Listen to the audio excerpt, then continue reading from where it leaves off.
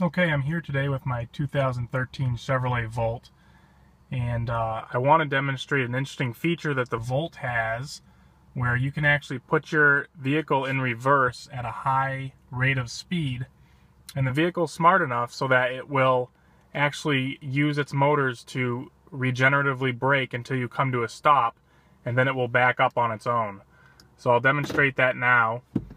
I'm going to accelerate say up to around 25 miles an hour. And I'll place it in reverse. You can see as I press the gas pedal or the accelerator, it's just regenerating energy. And now I'm going in reverse. Uh, let me describe a little bit more what's going on when I do that. The uh, screen that you see here, when there's energy being used by the motors, there's a yellow bar on the left when there's energy being put back into the battery by the motors, there's a green bar on the left.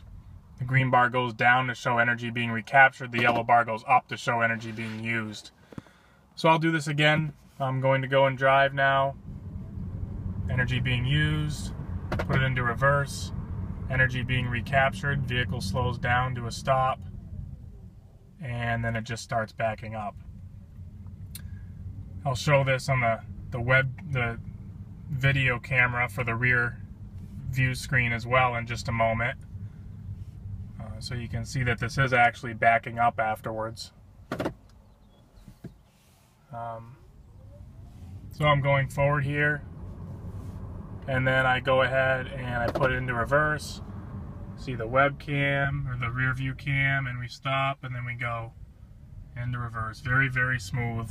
Another interesting innovation with the Chevrolet Volt.